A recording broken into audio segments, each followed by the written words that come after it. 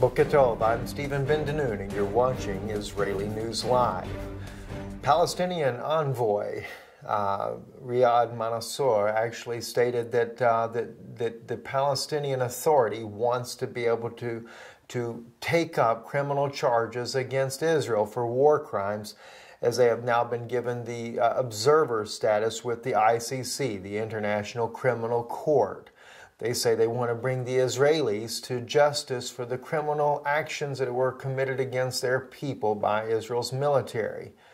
Seems kind of absurd that they would make such statements as that, and yet the atrocities that the Palestinians do, as they call in retaliation, suicide bombings against civilians, attacks on civilians, rock throwing, bombings, fire bombs, acid in their faces, and murder and rabbis being murdered, people that are not even part of the military being murdered and slaughtered, and yet the world stand by and applauds the Palestinian and say that this is only revenge.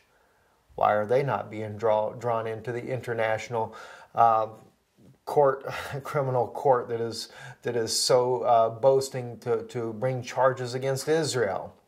The 122 nations.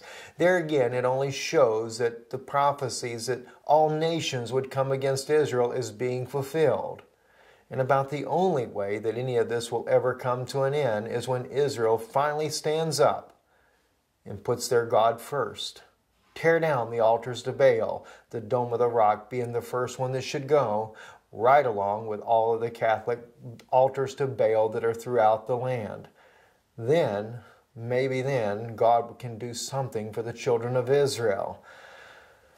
Also, in other things, uh, in Israel's security, uh, the Fatah is now hinting on calls for the assassination of, Israel, of the Israeli leader, President, or excuse me, Prime Minister Benjamin Netanyahu.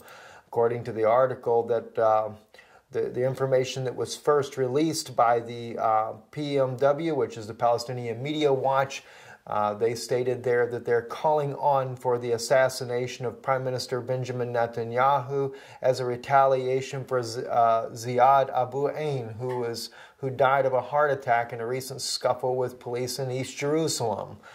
Um, just one other way that they believe that they should handle things, uh, which is certainly not at all of the norm. Said also in the article just today, it, it was announced that announced in Israel that the IDF has been cleared of responsibility for the death of Abu Ain and convicted terrorist with blood on his hands. Abu Ain was sentenced to life imprisonment in 1982 after planting a bomb in Tiberias that killed two Israelis. He served only three years in jail before he was freed in a prisoner swap.